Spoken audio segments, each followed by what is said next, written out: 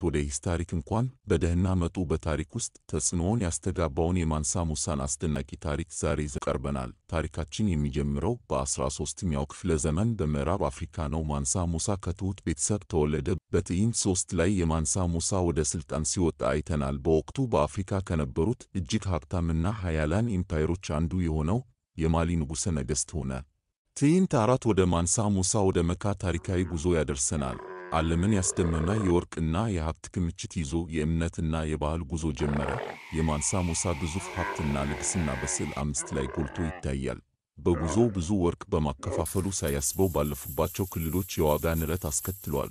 ትዕይንት ስድስት የማንሳ ሙሳን ለትምህርትና ለሥነ ጥበብ የሚያደርገውን ድጋፍ ያሳያል። በቲምቡክቱ ቤተ መጻሕፍትና ዩኒቨርሲቲዎች አቋቁሞ የአፍሪካ የትምህርትና የባህል ማዕከል አድርጓታል። በሰባት ትዕይንት ውስጥ ማንሳ ሙሳ ባስቀመጣቸው የሥነ ሕንፃ ድንቆች በቲምቡክቱ የሚገኘውን ታላቁን መስጊድ ጨምሮ ለሃይማኖትና ለመሠረተ ልማት ያለውን ቁርጠኝነት አሳይተናል። የማንሳ ሙሳ በዓለም ኢኮኖሚ ላይ የሚያሳድረው ተጽዕኖ በስዕል ስምንት ላይ በግልጽ ይታያል። የወርቅ ኢንቨስትመንቶቹ እና የንግድ መስመሮች አፍሪካን ከሜዲትራኒያን ባህር ጋር በማገናኘት ለዓለም ኢኮኖሚ እድገት አስተዋጽኦ አድርጓል። የማንሳ ሙሳ ውርስ በዘመናት ጸንቶ ይኖራል።